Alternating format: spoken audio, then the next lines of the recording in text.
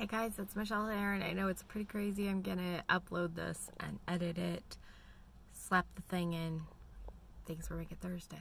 Things we're making Thursday, things we're making Thursday, things we're making Thursday, yeah.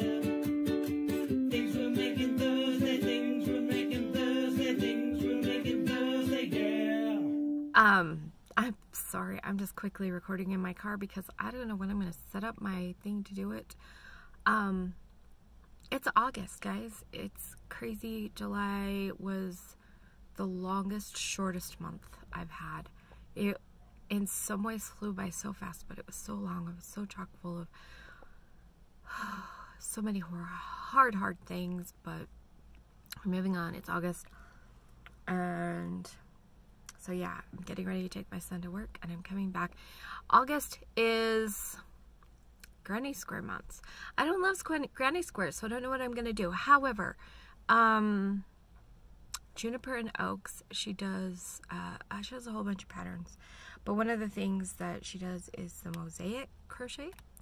And she has come up with a granny square cro mosaic crochet pattern that I just saw today. Um, I'll link that blog post on here, but I'm thinking of trying that out see what that turns out like. Um, so I might make one of those. Um, I also got a coloring page from her that I might color and show you guys. That is a Granny Square coloring page. I am not sure how to find her coloring pages. So just on the blog thing, maybe look around on her site if you're interested in a coloring page. I don't know. Um, but yeah, let me know what you're making for Granny Squares. For me, I don't love granny squares. I'm gonna be honest. Uh, it's one of those things that makes me seem a little odd for a crocheter. Sorry, I had to switch hands. My hand was getting tired.